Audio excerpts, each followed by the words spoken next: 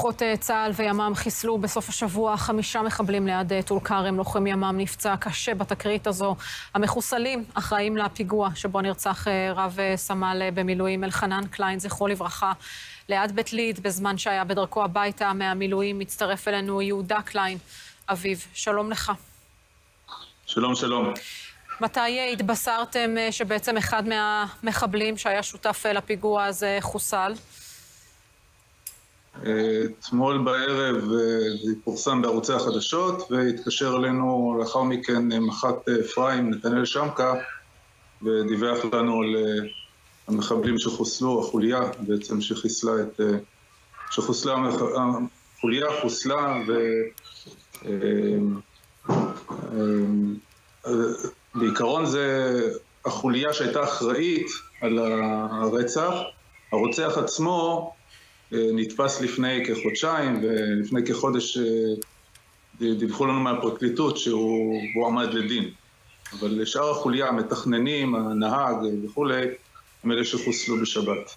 כן, ואני מניחה שאתם, אה, יש לכם אה, הערכה מאוד גדולה ללוחמי צה"ל ולוחמי הימ"מ על, על המבצע הבאמת הירואי הזה שם בסמוך לטול כרם. כן, אנחנו ממש מעריכים את המבצע, ש...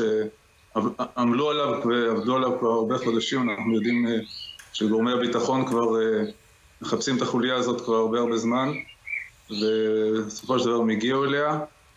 אה, אנחנו, אנחנו מרוצים מאוד במישור הכללי בעיקר, כי א', אנשי, אנשי עוולה כאלה צריכים לבוא על עונשם, ואנחנו רוצים שהחוליה הזאת הייתה חוליה מסוכנת, שגם עשתה פיגוע לפני כחודש גם שם באזור, וצריך למנוע מהם אה, להמשיך לעשות את מעשיהם אה, הנוראים.